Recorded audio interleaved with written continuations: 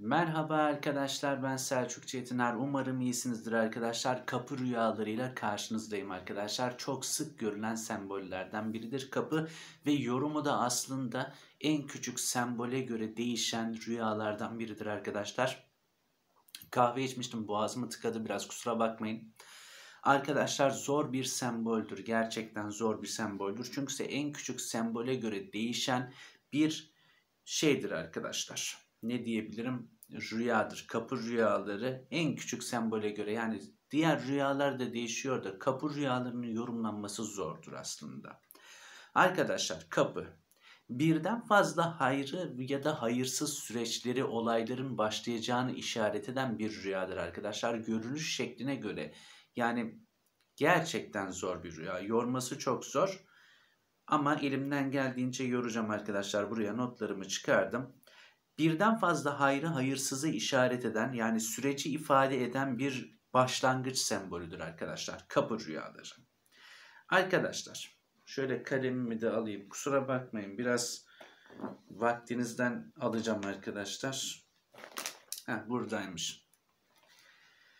Evet arkadaşlar kapı önünü silmek, kapı önünü bezle tozlarını aldığınızı sildiğinizi gördünüz çok güzeldir arkadaşlar. Bir işe başlayacaksınız ya Örneğin iş kuracaksınız arkadaşlar ya da ev kiralayacaksınız. Depozito isteniyor. Onu ödeyeceksiniz arkadaşlar. Yani güzel hayırlı olaylardaki hayırlı olayların önündeki sorunları aşmaktır arkadaşlar. Kapı önünü silmek gayet güzeldir.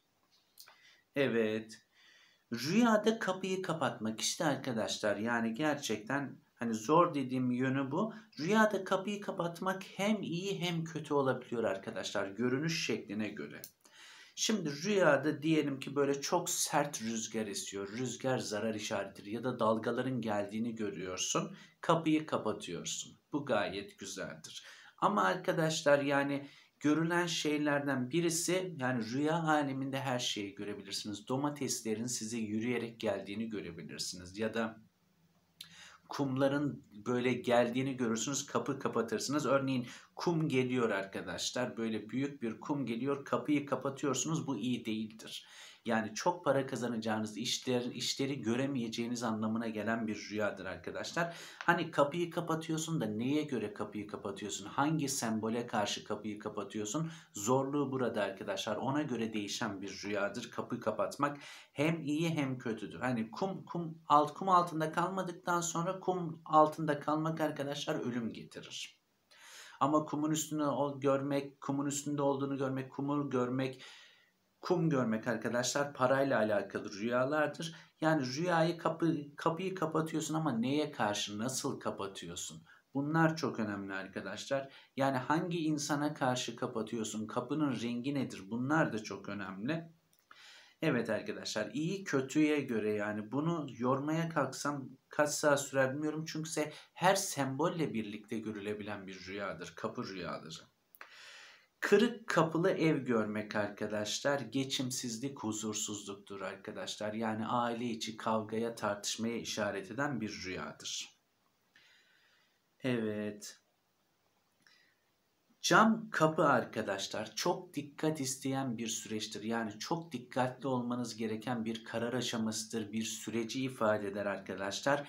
Cam kapıyı kırmadan açıp kapatmak çok hayırlıdır. Ama cam kapıyı kırmak arkadaşlar zarar işaretidir. Kendi elinizle kavuşacağınız şeye kavuşamayacağınızı işaret eden bir rüyadır arkadaşlar.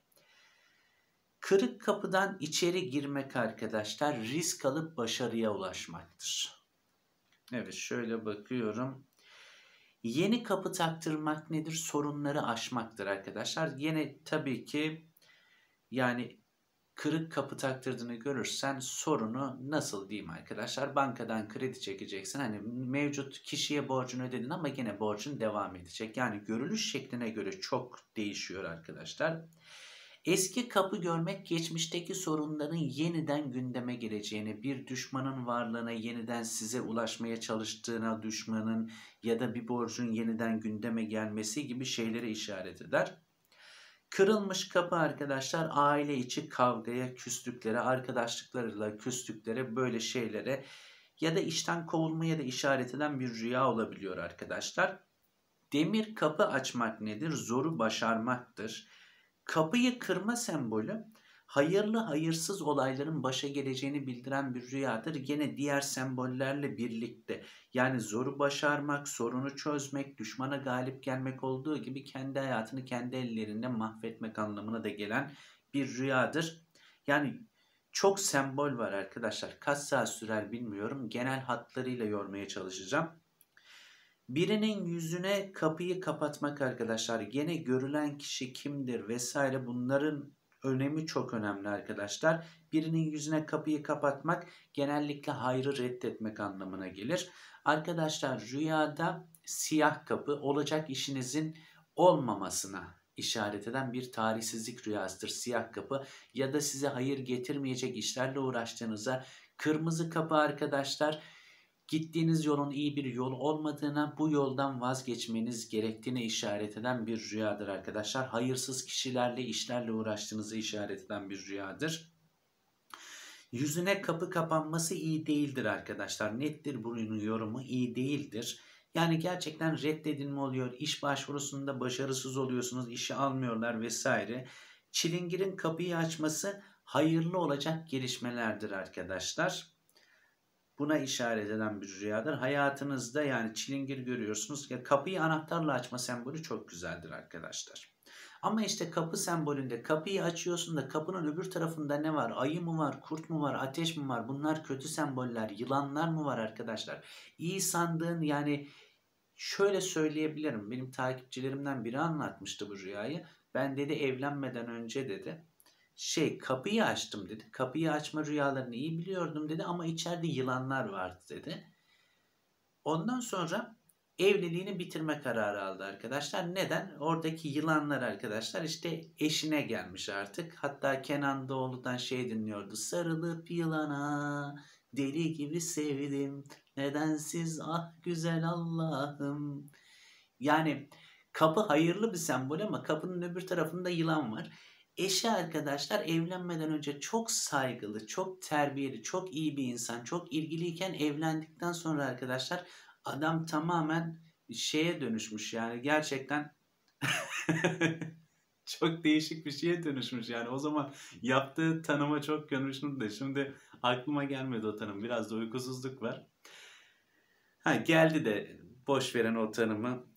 Arkadaşlar şeyde Ondan sonra işte yani o rüya ona geldi arkadaşlar. Yani kapıyı açıyor içeride yılanlar var. Yani eşimi diyor evlendikten sonra tanıyamadım diyor. Çok değişik bir insan oldu diyor.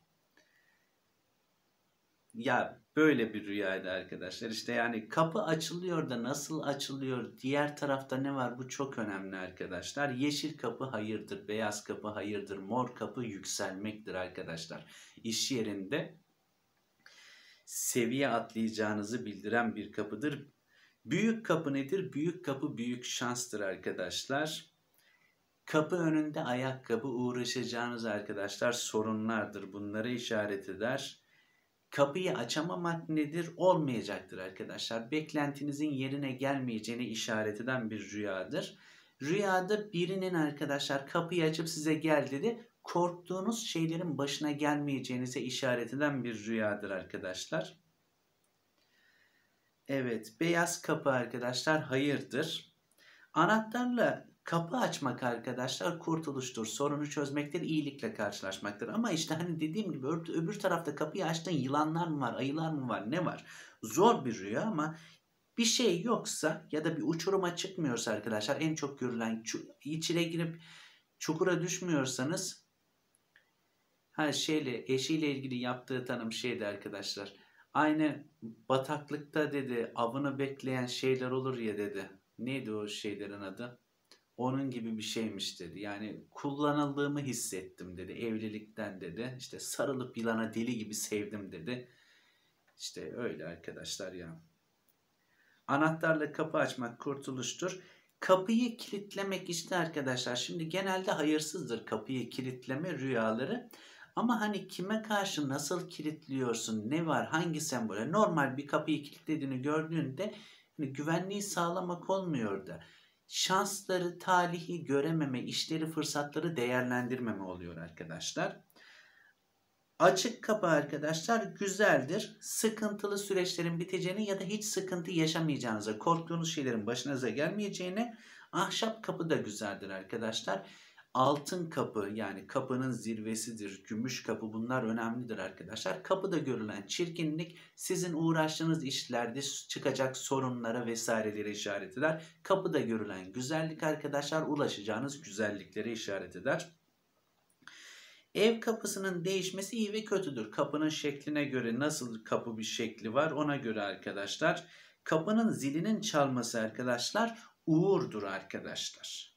Kapınızın zili çalıyor böyle zzz diye çalıyor ya da daha güzel melodilerle çalanlar var arkadaşlar. Sizin için uğurlu gelişmelilerdir.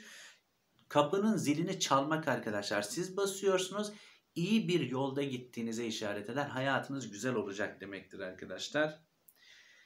Kırık kapı kolu nedir arkadaşlar? Uğursuzluktur. Başka ne yorabilirim diye bakıyorum. Başka da yoracağım bir şey kalmadı arkadaşlar. Daha saatlerce yorulur. Çünkü çok sembol var arkadaşlar. Yani kapı sembollerinde kapı arkadaşlar bir süreci, bir geçişi işaret eden güzel bir semboldür aslında da işte görülüş şekline göre çok anlam değişiyor. Evet. Onu yordum mu diye bakıyorum. Yani böyle arkadaşlar aklıma gelmedi. Başka görüşürüz. Kendinize iyi bakın.